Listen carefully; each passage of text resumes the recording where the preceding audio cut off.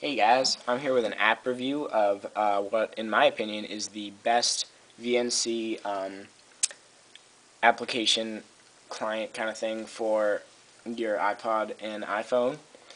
Uh, it's called LogMeIn, so I'll just show you that. Um, actually, it's on my first page. Alright, so there it is. Uh, as you can see, there's the icon for it. Just let that uh, autofocus. And it's not going to. Alright, well, there's the icon for it. It's called log LogMeIn. Uh, so I'm just going to launch it there. And it first brings you to this white screen.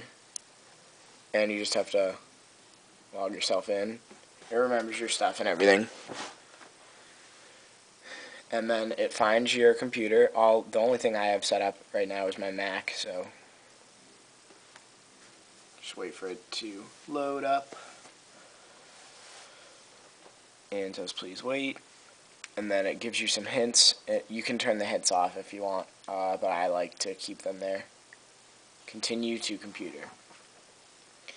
So it takes a while to at first load your screen. Um, but after that, I think it's pretty good.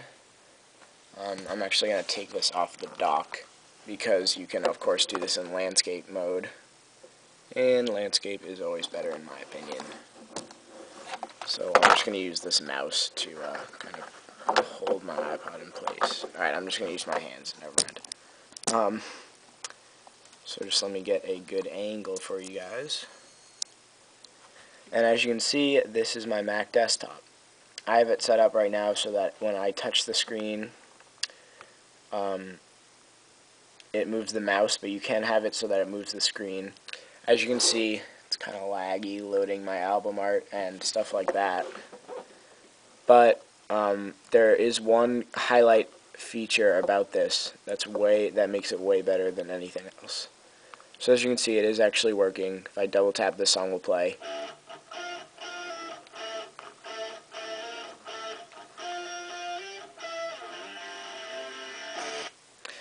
Anyway, I'm going to quit out iTunes actually.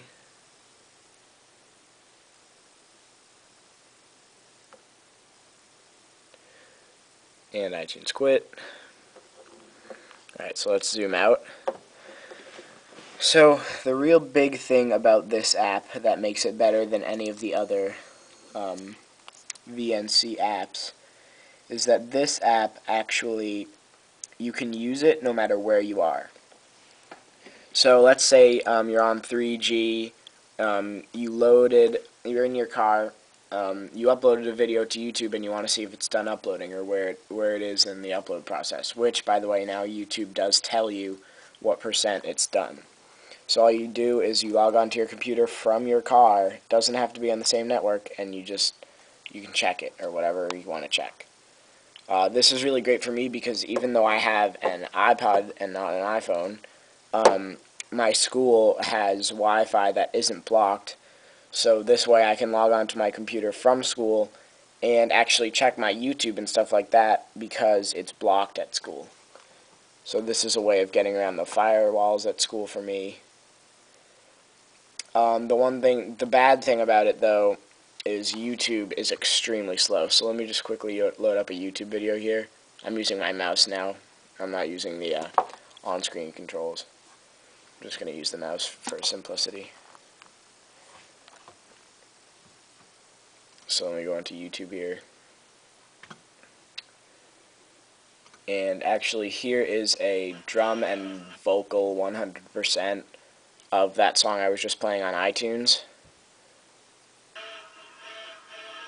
So as you can see, it's very laggy. Oh, there's some annotations. I don't know what that said but it's very laggy when you're watching YouTube videos. As you can see, here's my Mac, and it's not laggy at all. So it's not the video, it's just, um, this, this isn't very good for watching YouTube. So that's one of the drawbacks. Um, the second major, major drawback, which is actually probably bigger than this YouTube problem, is that it is $30 in the App Store. So I really only recommend, I recommend this app more than any of the other VNC apps because I think it's so easy to use. You can also, um, well, I'll, I'll tell you about that later. Um, anyway, it's so easy to use, but I really only recommend this app if you're if you like either need a VNC client or you're really to use it because $30 for an App Store app is a lot right now. Well, it's a lot in general. So let me just take you through some of these things down here. Of course, right here you have an end session button. Here you have your keyboard, pops up. And then up here you have Control, Alt, and Command, which I like. And then that brings you to your Fs and back to your regular keyboard, which I like. So I can enter, say, spaces if I press F5. And there you go, I launched spaces. F5 is my spaces shortcut. And also, yeah, a lot of graphical intense things make it lag quite a bit. Here is, um, I don't really know what that button does. Oh, this button changes it from left click to right click, so as you can see, if it would autofocus, my camera isn't very good at focusing in that great, but it changes it every time I click on that. Alright, you can't really see that. This is just a zoom for fast zoom, but obviously you can zoom like that. There's a preferences pane. I'll walk you through these. Just let me put this in my dock. Alright, so what you get is color quality, which might actually increase, uh,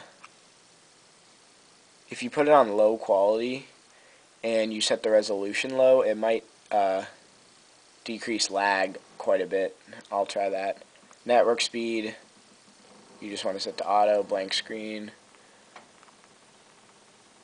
and uh, that made my real one go into horrible resolution, but just trying this, obviously I can put it back. Ooh, and that actually made the app crash. So let me just go back in. Oh, I don't know, maybe it just set it on lock because the app didn't crash. That's kind of weird. Anyway, so there's the preferences pane. Oh, it's because I put the this into the dock, so that made iTunes launch and it made it want to sync. Anyway, now that it's a uh, lower resolution, let me try. Uh, it doesn't seem to be that much faster. Alright, so I'm going to reset the resolution. Bear with me here. Color quality, auto back to settings, and done. Alright, and then lastly, you have these two buttons, Command Tab and Command. Command Tab, obviously you know, is for switching between applications and stuff like that. Alright, so I am done uh, kind of giving you guys a walkthrough. Um, if I had to rate this app, I would give it a 8 out of 10 because um, it the it is very uh, choppy at times. At other times, it's great, but it's very choppy at times, and also because it's thirty dollars. But it gets the eight really because you can log on from different uh, networks. So this video has been a lot longer than I thought it would be. Thank you very much for watching, and uh, for exclusive content, be sure to follow me on Twitter, um, where you can know what I'm doing, uh, if I find any cool Apple or any tech-related kind of websites or forums. I'll post links to those. Uh, so check in the description for the Twitter link, and thanks for watching.